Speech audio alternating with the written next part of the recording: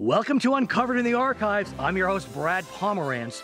When California decided to build a reservoir near Hemet, little did the experts realize that they would uncover one of the largest caches of fossils ever discovered in the western United States.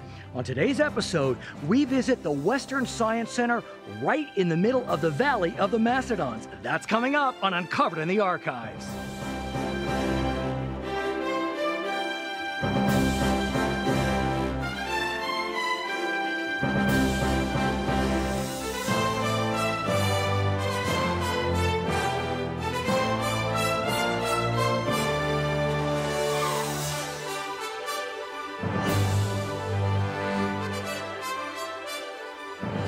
Uncovered in the Archives is made possible in part by Loma Linda University Health.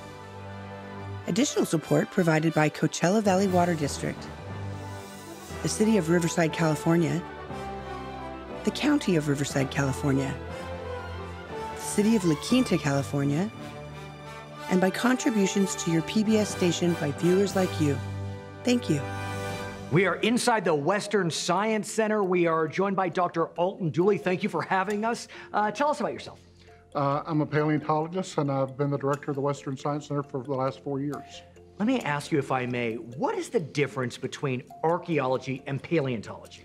Uh, those two fields are closely related, um, but archaeologists work strictly on human remains and human artifacts, the things that are produced by humans. Okay.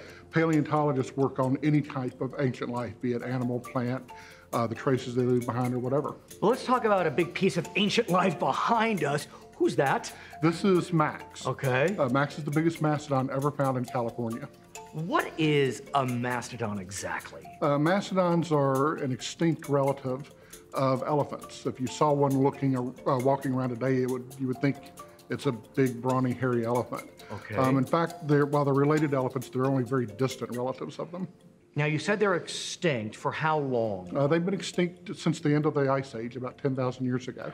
Any ideas why the mastodon went extinct? Well, since it was the end of the Ice Age, it's likely that uh, changing climates had a lot to do with it. Okay, now I'm standing on an exhibit. It makes me a little uncomfortable, but I think it's okay. You're not saying anything. It looks like under the glass is apparently another mastodon. Who's that? Uh, this isn't, in fact, another mastodon. We call this one Little Stevie. Uh, he comes from Diamond Valley Lake, just like uh, Max does, from the same area. Okay. Uh, he's a little bit older than Max. He's about 50,000 years old, where Max is about 15,000. So it seems like there are a lot of mastodons here at the Western Science Center. Why? What's the reason for that? Uh, there are a lot of mastodons here. We have one of the biggest mastodon collections in the world, and more than half of all the mastodons ever found in California are in this building. Uh, the reason why is because of one excavation that uh, took place here when the Diamond Valley Lake Reservoir was constructed right behind where the museum now stands. A- And I understand that this area is now called the Valley of the Mastodons. That's right. That's what uh, the scientists who were working that excavation started calling this place because so many mastodons were being found here. So you said before that you've been here for about four years. So I guess you weren't on that excavation, unfortunately. That's right. I'm wondering if you know anyone we can speak with that was there to give us a sense of what it was like in, in what year was it? It was in the 1990s, so it went on for several years. Uh, and as it happens, the lead paleontologist for the excavation is a friend of mine. Ah, good. Uh, her name is Kathleen Springer, and since I knew you were coming, I asked her to be here today. Well, thank you for that. Let's go talk to the lead paleontologist on that excavation, Kathleen Springer.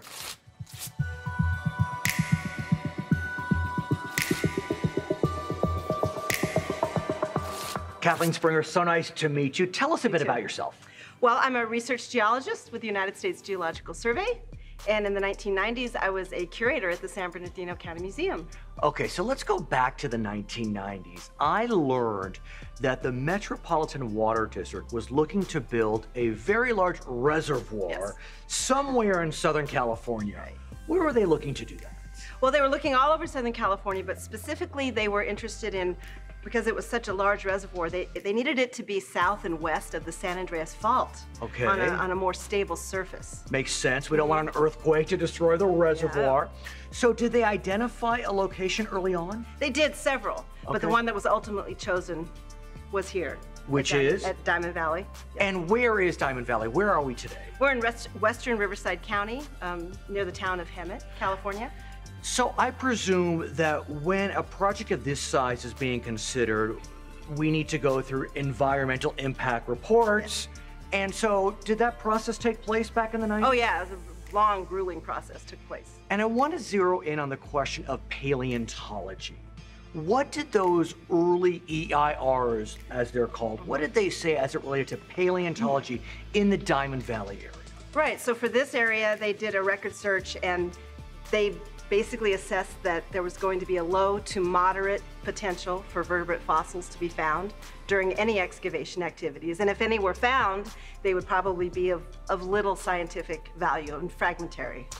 So I read, suffice it to say, that Kathleen Springer did not agree with that assessment, and you decided to do something about it. Yeah, so I, I, I commented on the EIR. I wrote a letter Right.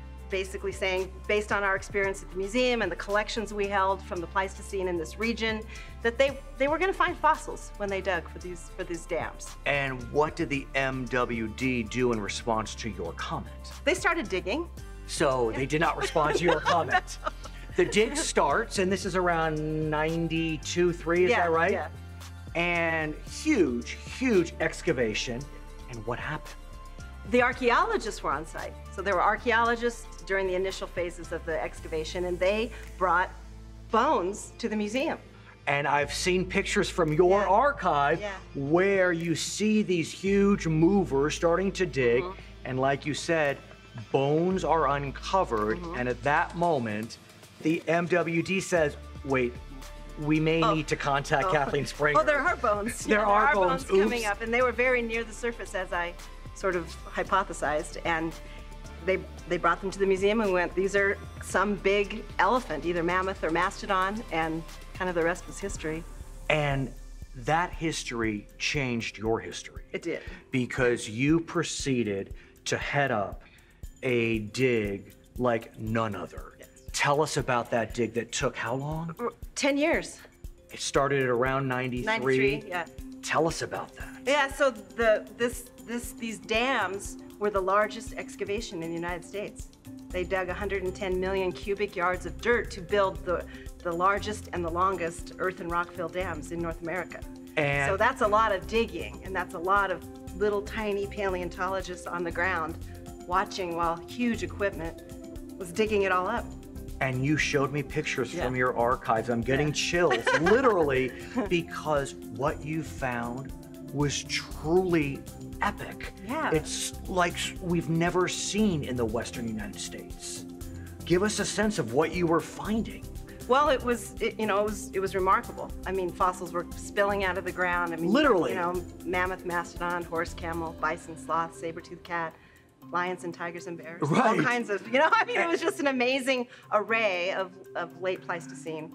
Now, you were part of the team that found two of the most majestic mastodons ever uncovered. They're here at the Western Science Center. Let's start with Max, whose skull is in such remarkable shape, completely intact. Beautiful, spectacular, amazing. We found Max in the western end of the valley, and he's about 16,000 years old. And we found his beautiful skull and his lower jaw and his tusks and lots of his other parts. But he's, he's one of the most beautiful, really big mastodons. And then there's little Stevie, who's not little. No, he's not. Tell us about little He's Stevie, not little. who's so, here at the and museum. So little Stevie is from the eastern end of the valley, much deeper in sediments that are about 47,000 years old, in kind of a, you know, filled with not just his skeleton, Right. but other animals as well, bison, and really amazing locality. What, what must it have been like for you when, you literally are digging and you're uncovering these completely intact mastodons? It was this fast and furious work with took a huge team of people to do it and it was just kind of like constantly fossils were coming in to the museum every day bundles and bundles and bundles and giant jackets Was this an excavation of a lifetime? it was it was an excavation of a lifetime Tell me. it was amazing because it was a construction site so you're amongst these gigantic pieces of equipment that were built specifically to create these dams. So the largest pieces of machinery that had actually been built specifically for this project And these people are out there trying to capture a piece of the past. And the pictures that you've shown me are really inspiring. Yeah. And I get it. I Yeah. get how this changed the trajectory of not just Kathleen, Mm-hmm. but really how we look at uh, ancient history, prehistory Right. in this entire region. There had never been an assemblage of animals like this found in inland Southern California.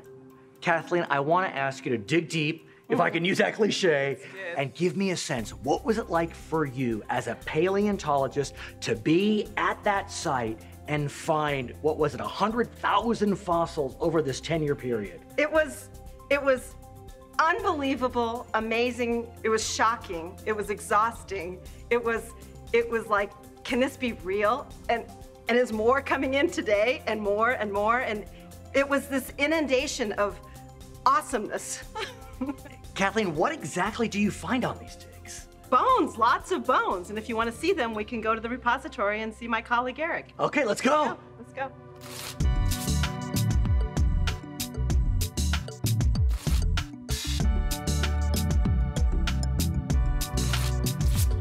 So these are some of the spectacular specimens from Diamond Valley Lake. I'm just amazed at how well preserved these fossils are. It is. That's why we call it the Valley of the Mastodons.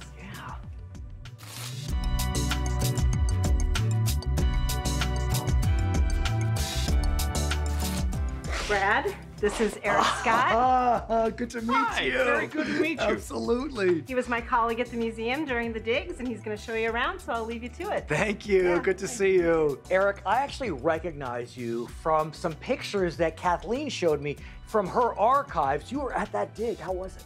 It was amazing. It was one of the highlights of my professional career. I was so uh, staggered by what we found on a daily basis out here. It was simply incredible. So let's talk about what you found. As I understand it, there were over 2,600 sites. You found about 110 different animals. Any examples? I have a feeling there are.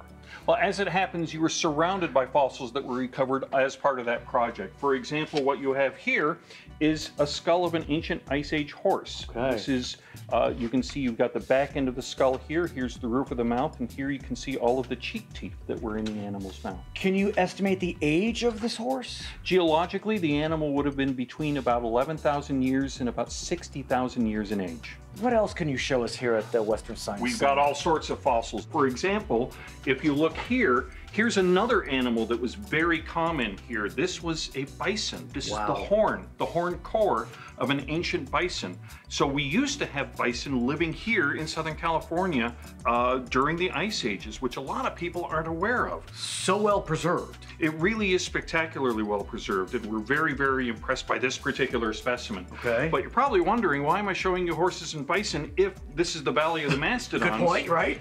And the reason is because there were so many mastodon fossils that were found here, including fossils like this.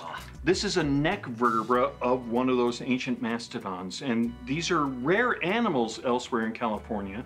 Here you have really abundant remains of mastodons. This is a neck vertebra. This is a vertebra from the chest area from a different individual. You can see this is where your ribs would have attached, this is where the spinal cord would have gone.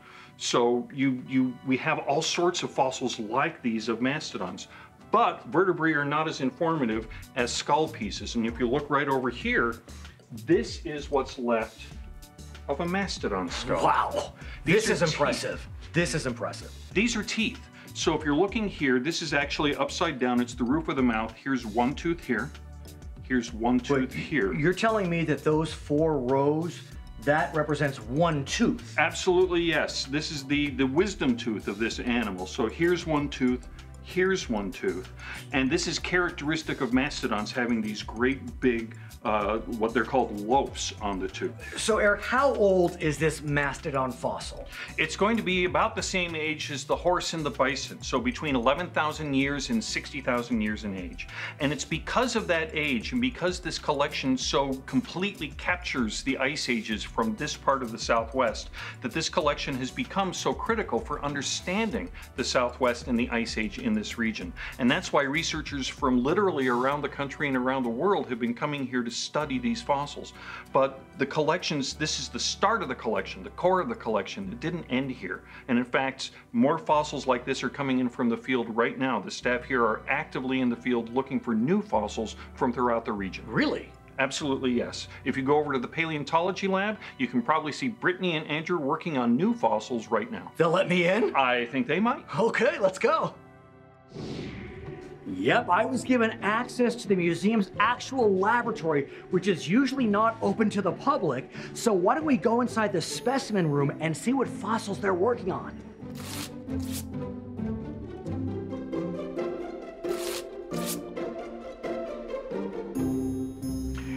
Brittany, Andrew. Oh, you must be Brad. I am. Hello, I'm Brittany, the marketing event specialist for the museum. Good to meet you. I'm Dr. Andrew McDonald, curator here at the Western Science Center. Thank you so much for inviting us here. Brittany, I wanted to ask you, uh, what exactly happens inside this laboratory? Well, all sorts of stuff happens. We prepare fossils here after they've been brought in from the field, and we also make replicas of those fossils using our 3D printers. So let me ask you about this fossil, Doctor. I fancy me an amateur paleontologist, I'm just saying, and I feel like I can identify this fossil. This looks like a mastodon tooth, kind of like the one I saw inside the repository. Did I get that right? You're absolutely right. This is a mastodon. This is one of the specimens excavated here at Diamond Valley Lake.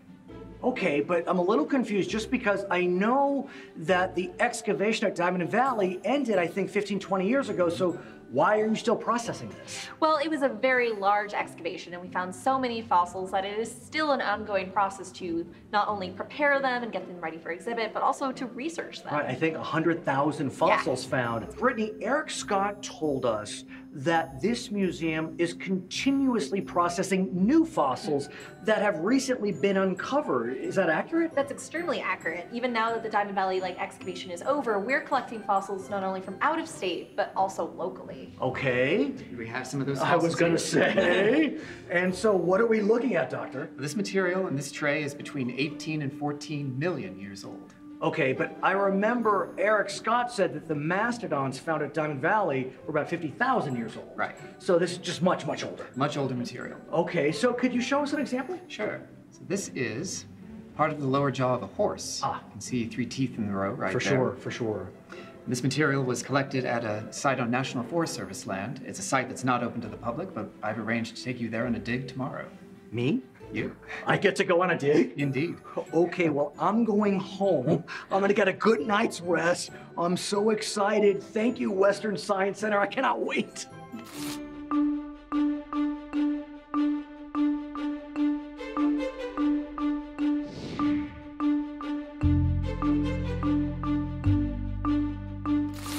Brittany, Dr. McDonald, I can barely contain my excitement. I can't believe we're going to go to an actual dig site.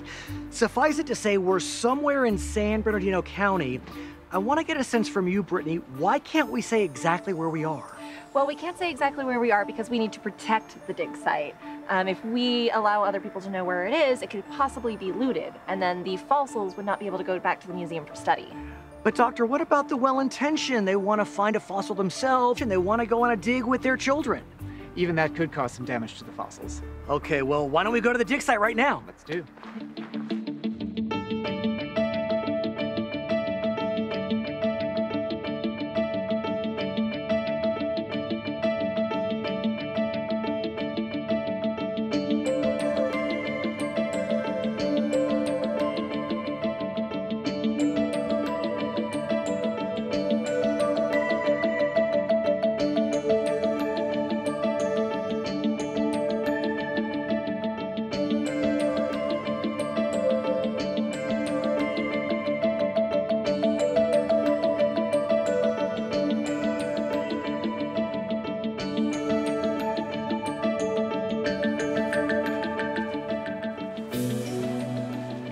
Brad, welcome to our dig site. I can barely take the anticipation. Before we start, I want to ask you what is it about this location that said to you, in my professional judgment, as a paleontologist, I need to dig here?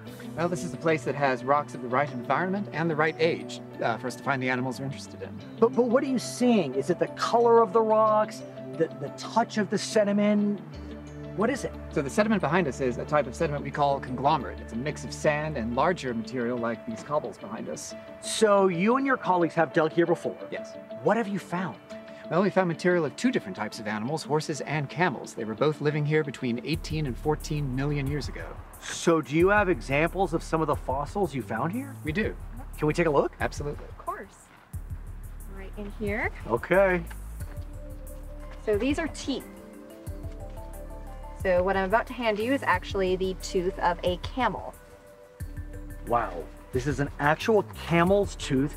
Camel lived in this region how many millions of years ago? Between 18 and 14 million. And you found this camel tooth right behind us. Right here. You have something else? Of course. Let me take that from you.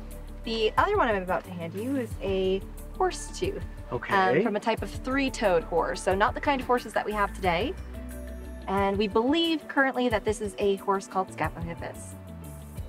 Now, how do you know that these fossils range in age from 14 to 18 million years old? Well, we study the geological maps of the area, which have been compiled by uh, colleagues and geologists over many years, showing us uh, what types of rocks are here and how old they are. Uh, Thank you, Brittany.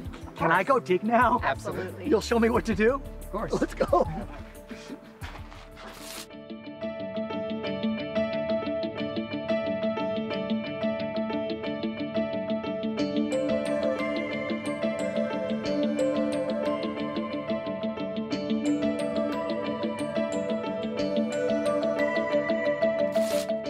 So, Doctor, have you found anything?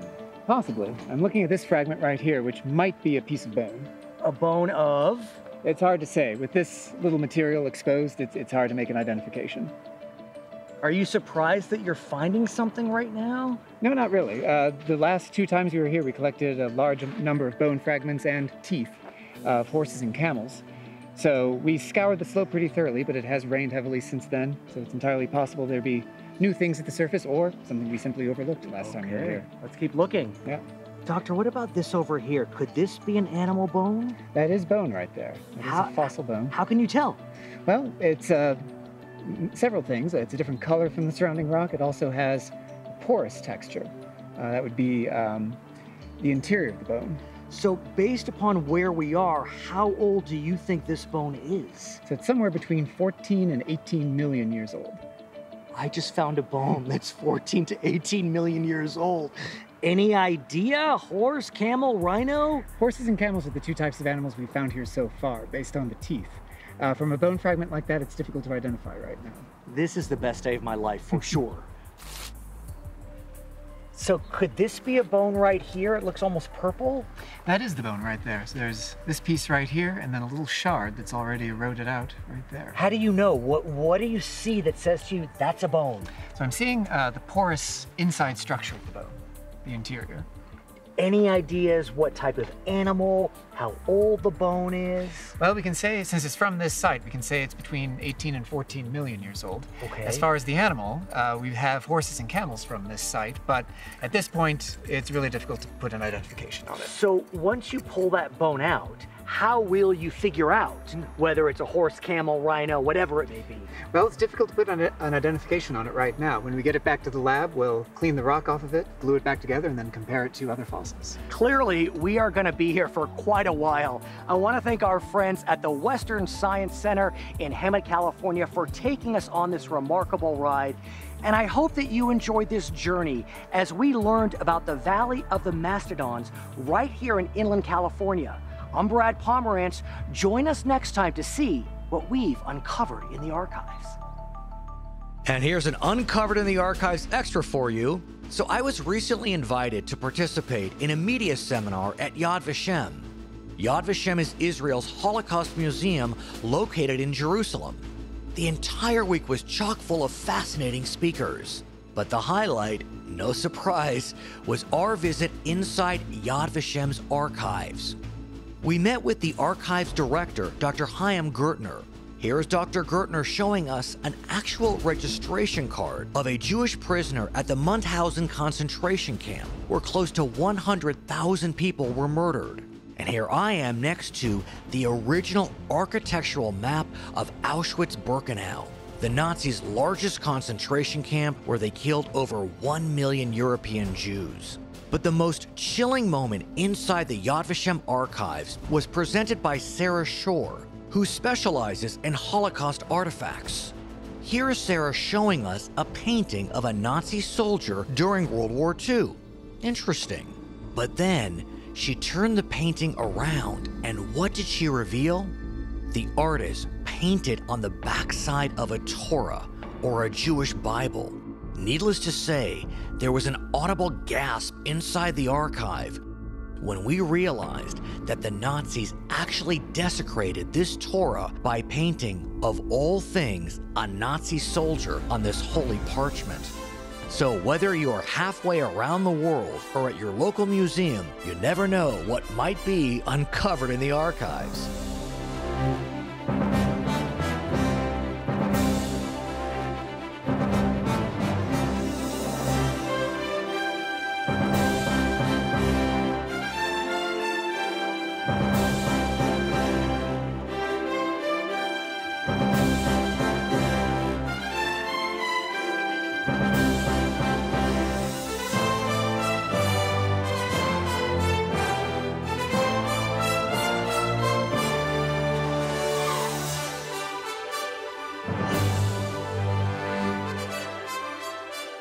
Uncovered in the Archives is made possible in part by Loma Linda University Health. Additional support provided by Coachella Valley Water District, the City of Riverside, California, the County of Riverside, California, the City of La Quinta, California, and by contributions to your PBS station by viewers like you. Thank you.